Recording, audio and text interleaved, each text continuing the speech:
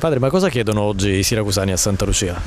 Beh, certamente di volta in volta, di anno in anno le situazioni sono differenti, pur essendo la festa sempre la stessa, perché è sempre la stessa patrona a cui noi ci rivolgiamo, una volta che le condizioni di vita delle persone sono differenti, certamente le esigenze saranno nuove. Io penso che possono essere di due tipi,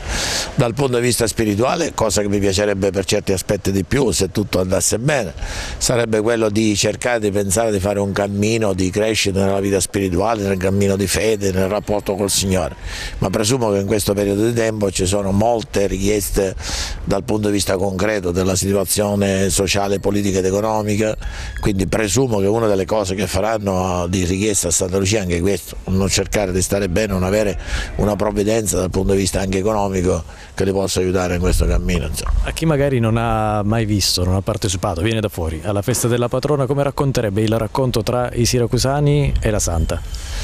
Beh, il rapporto è un rapporto un poco particolare, diciamo io pur non essendo siracusano da un tempo sono a Siracusa, in realtà c'è una forma di identificazione tra Siracusa e Santa Lucia, è come se fosse la propria sorella, la propria amica, la propria mamma, non saprei identificare, mamma già diventa difficile, però è così anche la, la protettrice di fatti diventa tutto, quindi c'è una identificazione che si vede anche nel modo della partecipazione della parte, quindi in ogni caso quando si dice Siracusana c'è proprio questa coscienza dell'auto, dell'identità del siracusano. Quindi e poi dobbiamo dire che dal punto di vista della modalità diciamo, della processione delle altre cose dobbiamo riconoscere che tutto sommato c'è sempre un certo ordine, una certa modalità, pur essendoci una quantità, eh, diciamo che la, la situazione più ricca di persone che vede la città,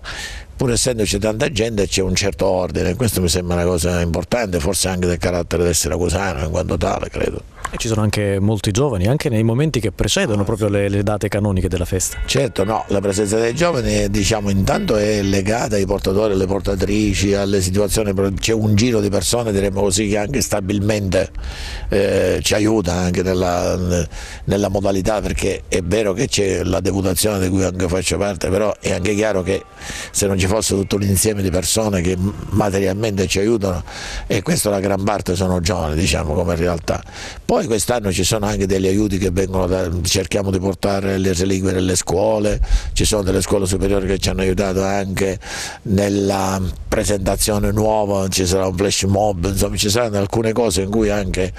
eh, c'è una presenza attiva dei giovani perché diciamo la tradizione non è che è tale se resta ferma, la tradizione è tale perché coinvolge anche altre realtà e quindi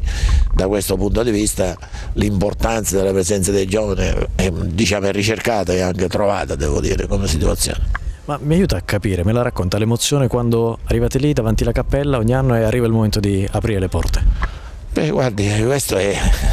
dire, è, una cosa soggettiva, diremmo, come situazione. Dipende innanzitutto